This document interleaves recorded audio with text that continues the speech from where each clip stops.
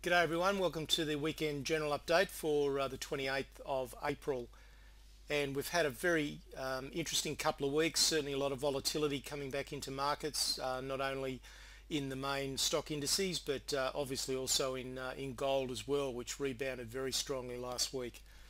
So uh, fascinating week, um, let's have a look at some of the details.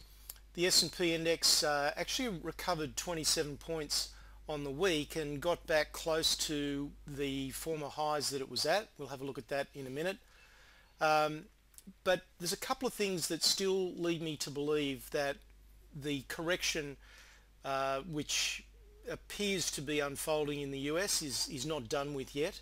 Um, there's some volatility in the US index uh, which is generally a sign of a topping process. But we're also seeing some divergence with um, the small cap sector, the Russell 2000. And that's often a, uh, a good indicator that the market's going to go into a bit more of an extended corrective phase.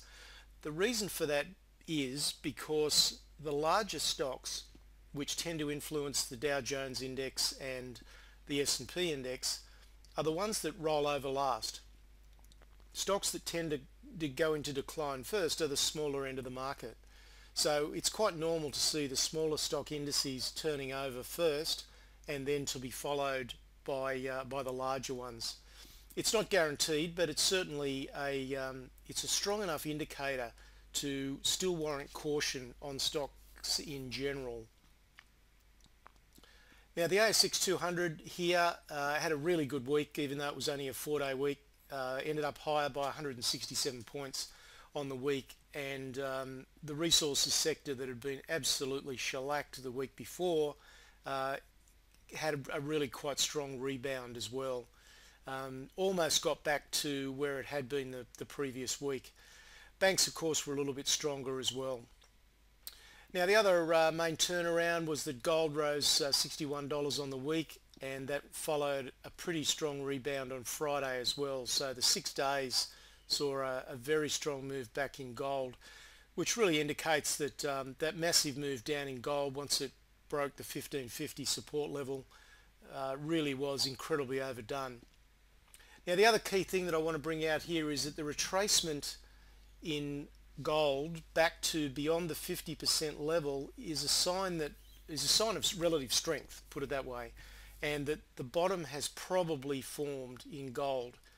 Now that's not to say we can't see a retest. Um, in fact, I think some sort of further downside in gold is quite likely. But I, I don't know that we're going to get substantially further lows than what we had before because there's um, just too much strength in that gold market rebound. Copper, pretty volatile, uh, managed a slight rise on the week uh, but only back to 317. So that's a bit of a worrying sign with respect to the, the global health. Uh, oil was steady at, uh, at 93. So let's have a look at a few charts. We'll start with the S&P first of all. And we looked at this last week with this big wedge pattern forming here. And if we go back to 2000, You'll notice that the peak in 2000 was exceeded by a small amount in 2007 and then we've exceeded the 2007 peak also by a small amount at this stage. Now I'm not saying that we're now going to get a phase like we had in 2000 or 2008. Uh, far from it. I'm still uh, firmly of the view that the conditions are such that uh, this should be a pretty good year and that any correction we've got is, is a mild one. However, this is a rising wedge pattern and they quite often can lead to uh, a breakdown. But at the moment, I guess we could say that uh, it's near the top of that triangle or the top of that wedge and that a move to the bottom of the wedge um, would, would be in order. And that brings, would bring you down to somewhere around about the 1500 to 1510 mark.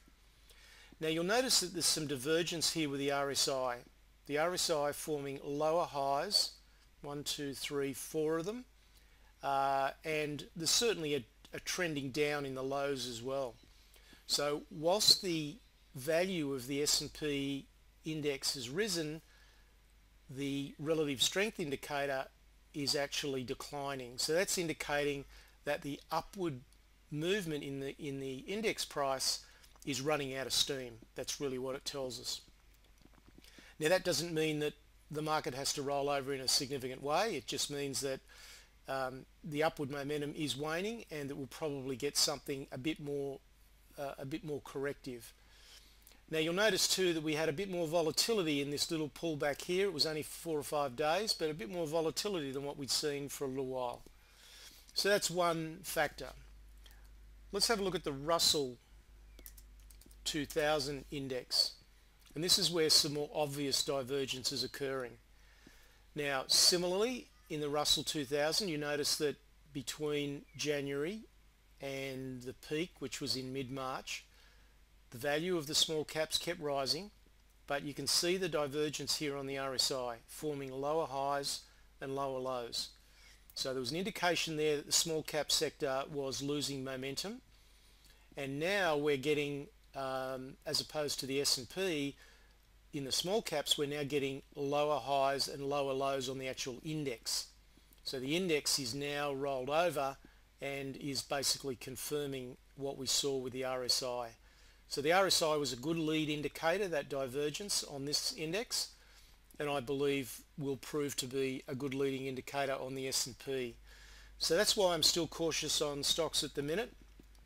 I'm not expecting the pullback to, be, to have any great substance, but I, I still believe that the correction in global stocks is not done with yet. There's still some more to come and that means that uh, there's probably some better buying opportunities out there over the next uh, perhaps six to eight weeks.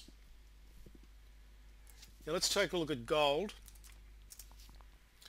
This is gold on a weekly chart. You can see it uh, smashed through that uh, long-term support line which had been support for around two years at 1550. Also went straight through the next support level at around 1450 didn't quite get down to this 50% level at 1302, um, but has rebounded quite strongly. You'll notice that the RSI was heavily oversold, uh, more oversold since we've got to go back to um, we've got to go all the way back to 1997 so about 17 years ago to see the RSI down at that level so that's just how oversold gold was so rebound to be expected. Let's go on to the daily chart. Now looking at the retracement of this run here, which was the run down from the 21st of March down to the bottom on the 16th of April. Now if gold was still in a strong downtrend, this would have struggled to get to the 38.2% level and then would have rolled over. But instead it went straight up to the 50% level and went beyond the 50% level and in fact touched 1485 so between the, the 50 and the 61.8 now that's an indication of relative strength in the price of gold. And therefore um, I think the odds are that if we do get some more downside in gold in other words we get a partial retracement of this recent little rally that I think it'll form a, a higher low so we might pull back sub $1,400 again. Um, if that's the case, don't panic because that would be pretty normal. Uh, in fact, it would be abnormal if gold just went straight back up again.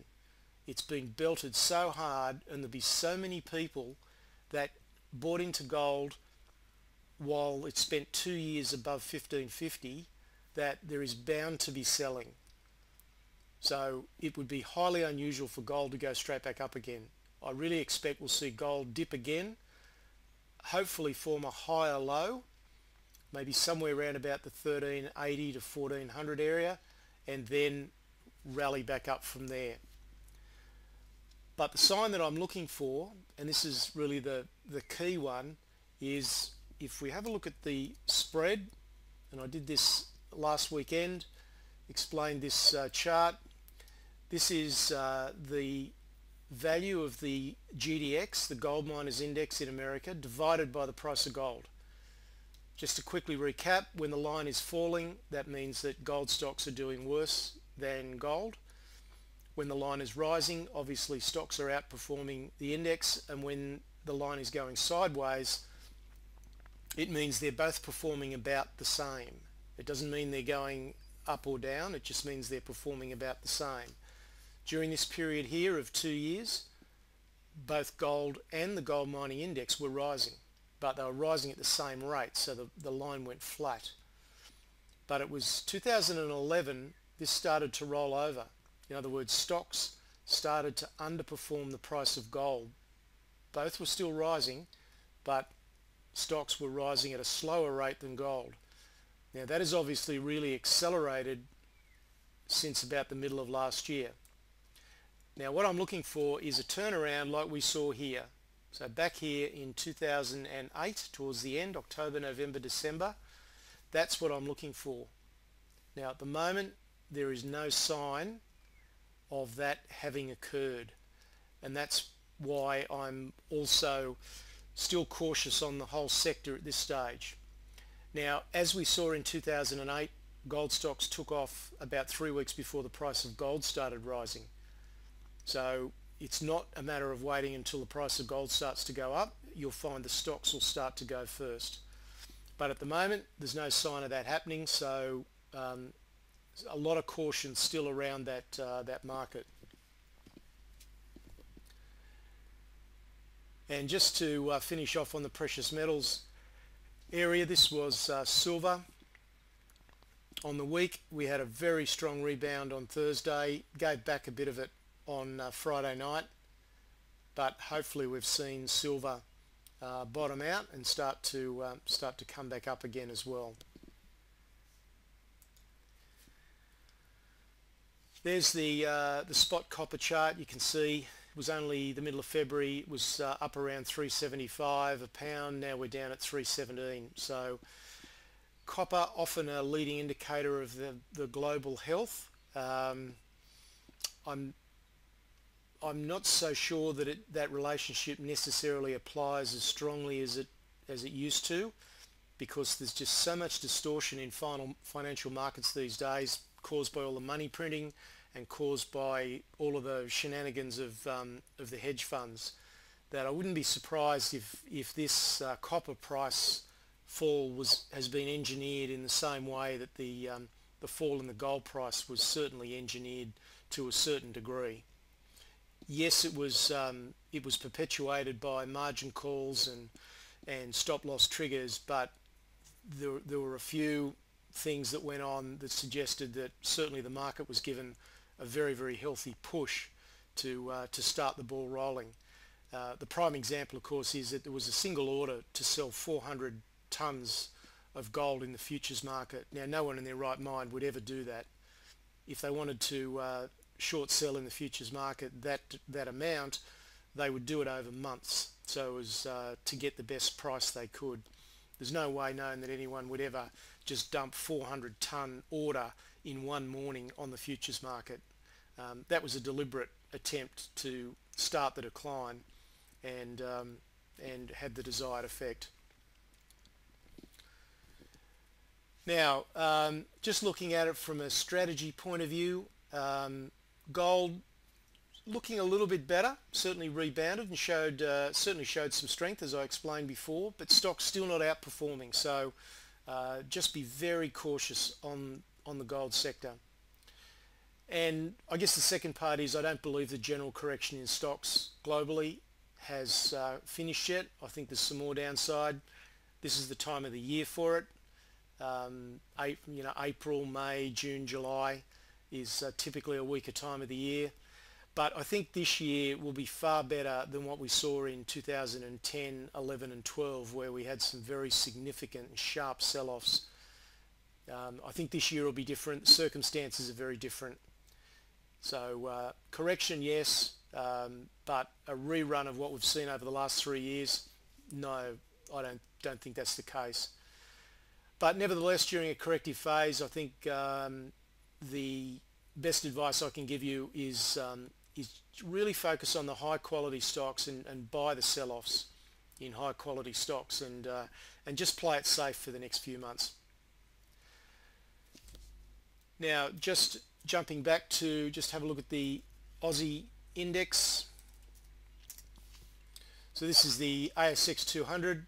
For, for those that, uh, that follow that, uh, we formed a, uh, formed a high at 51.50 pull back a little bit below this um, this support level that we had just under 5,000 uh, rallied but you can see the rally ran out of steam on uh, on Friday. I would expect our market to probably be a little bit lower on uh, on Monday.